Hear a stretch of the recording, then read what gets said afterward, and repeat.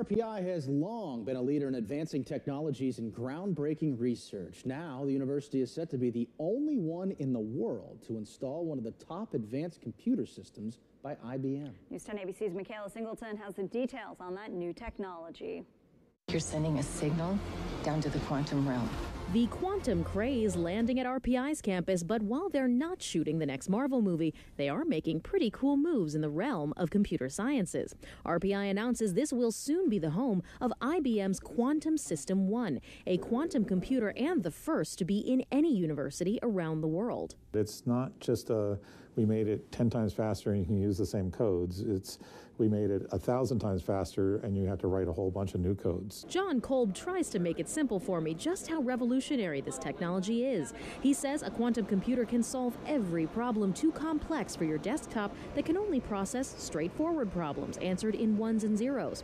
He says this technology can make millions of probabilities based on a wealth of data.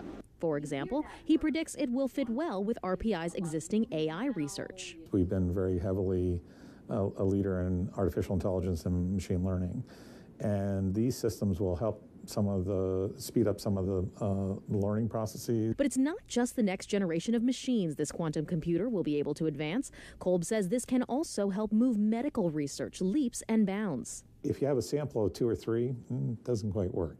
You have a sample of 8 million people in New York City, well, now you're starting to get get somewhere, but how do you crunch that in a way that you actually get answers that then come back to you and say, well, here's the medicine that you you need. IBM will help build and assemble the System 1 with a completion date around January 2024. Kolb foresees every RPI student taking future courses on quantum computing, poising the capital region to rival Silicon Valley and other hubs of technology and talent. This is a huge, huge deal for our economy. This, this will, this is something that's going to carry us for uh, decades. Reporting in Troy, Mikhaela Singleton, News 10 ABC.